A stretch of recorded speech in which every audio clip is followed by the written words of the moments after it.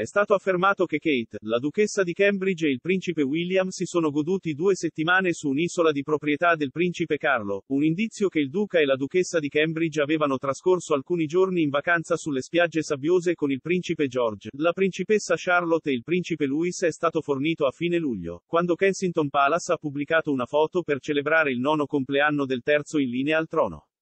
Nello scatto scattato da Kate, il ragazzo sorridente sta chiaramente su una spiaggia. Seppur sfocato, le precedenti vacanze dei Cambridge nell'isola privata caraibica di Mustic potrebbero aver portato alcuni osservatori reali a pensare che questa foto sia stata scattata durante una pausa attraverso L Atlantico. Tuttavia, l'editore del diario di Mail on Sunday, Emily Prescott, ha affermato che George, Charlotte, Louis e i loro genitori si sono diretti a metà luglio a Tresco, una piccola isola dell'arcipelago delle Scilli.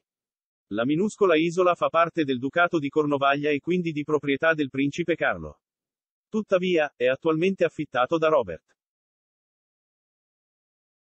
Dorrin Smith e sua moglie Lucy che gestiscono la Tresco Estate, la signora Prescott ha scritto, la famiglia ha trascorso due settimane sull'isola pedonale di proprietà del principe Carlo. Viaggiando in elicottero, si pensa che i Cambridge e il loro Spaniel, Orla, abbiano soggiornato a Dolphin House, un'accogliente canonica di granito in un giardino recintato. Un video che ha iniziato a circolare sulle piattaforme dei social media il 13 luglio sembrava mostrare un elicottero in decollo da Kensington Palace dopo essere salito a bordo dei Cambridge e del loro adorabile cane nero.